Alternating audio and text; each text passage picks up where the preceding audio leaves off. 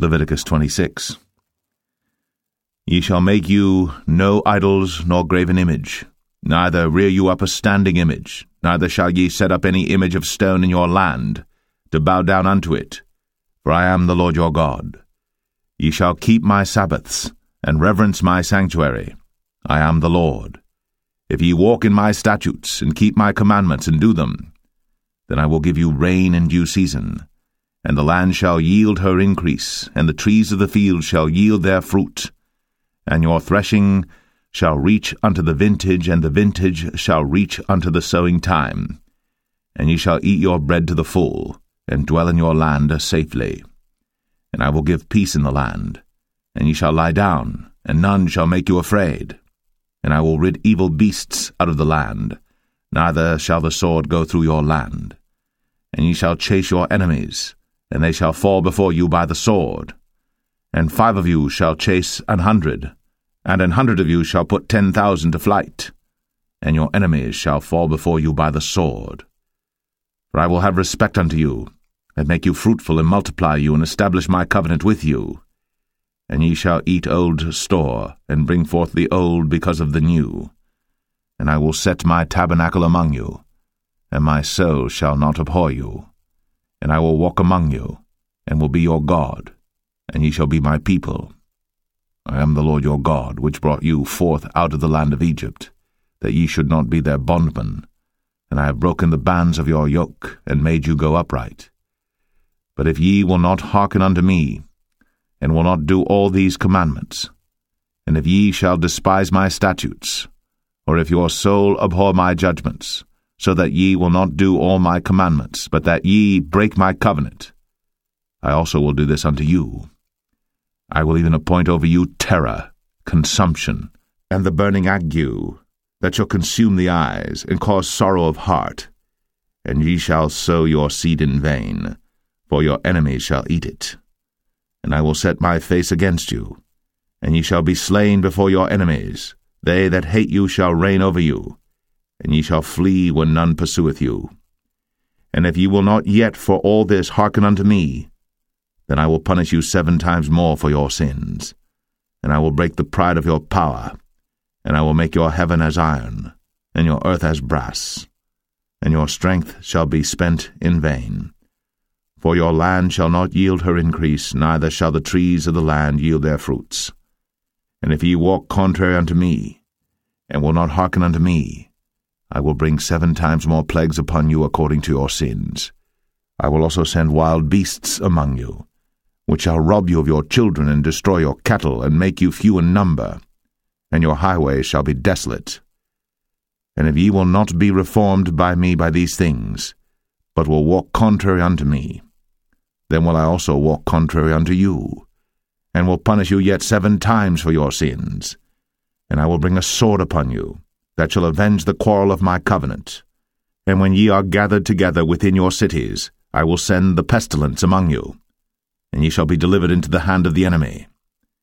And when I have broken the staff of your bread, ten women shall bake your bread in one oven, and they shall deliver you your bread again by weight, and ye shall eat and not be satisfied. And if ye will not for all this hearken unto me, but walk contrary unto me, then I will walk contrary unto you also in fury, and I, even I, will chastise you seven times for your sins and ye shall eat the flesh of your sons, and the flesh of your daughters shall ye eat. And I will destroy your high places, and cut down your images, and cast your carcasses upon the carcasses of your idols. And my soul shall abhor you. And I will make your cities waste, and bring your sanctuaries unto desolation, and I will not smell the savour of your sweet odours. And I will bring the land into desolation and your enemies which dwell therein shall be astonished at it. And I will scatter you among the heathen, and will draw out a sword after you, and your land shall be desolate, and your cities waste. Then shall the land enjoy her Sabbaths, as long as it lieth desolate, and ye be in your enemy's land, even then shall the land rest, and enjoy her Sabbaths. As long as it lieth desolate, it shall rest because it did not rest in your Sabbaths. when ye dwelt upon it. And upon them that are left alive of you, I will send a faintness into their hearts in the lands of their enemies. And the sound of a shaken leaf shall chase them, and they shall flee, as fleeing from a sword, and they shall fall when none pursueth.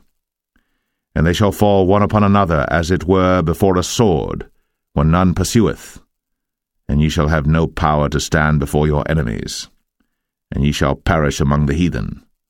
And the land of your enemies shall eat you up, and they that are left of you shall pine away in their iniquity in your enemies' lands, and also in the iniquities of their fathers shall they pine away with them, if they shall confess their iniquity, and the iniquity of their fathers, with their trespass which they trespassed against me, and that also they have walked contrary unto me, and that I also have walked contrary unto them, and have brought them into the land of their enemies.